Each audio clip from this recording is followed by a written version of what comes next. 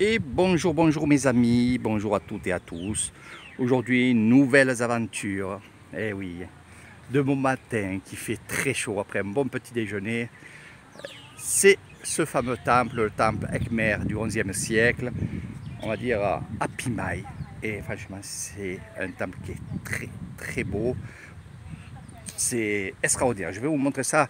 Je vais faire quelques clichés, des photos que vous pouvez aussi récupérer évidemment sur mon site et sur mon Facebook, vous pouvez prendre tout ça. Donc là, c'est le début du temple. Je ne vais pas tout vous montrer, évidemment. Pourquoi? Parce que euh, il y en a beaucoup qui me disent Eric, tu nous as pas montré euh, tout, tout, tout. Ben non, c'est la surprise, évidemment. on fait des excursions. Quand on vient découvrir, ben c'est comme ça. Hein. voilà. Je tenais à le dire. Je le dis toujours. Donc je suis avec euh, mon ami Benoît qui en prend plein les yeux et à chaque fois il me dit Eric c'est formidable, c'est formidable, c'est formidable. Oui, c'est formidable et c'est beau.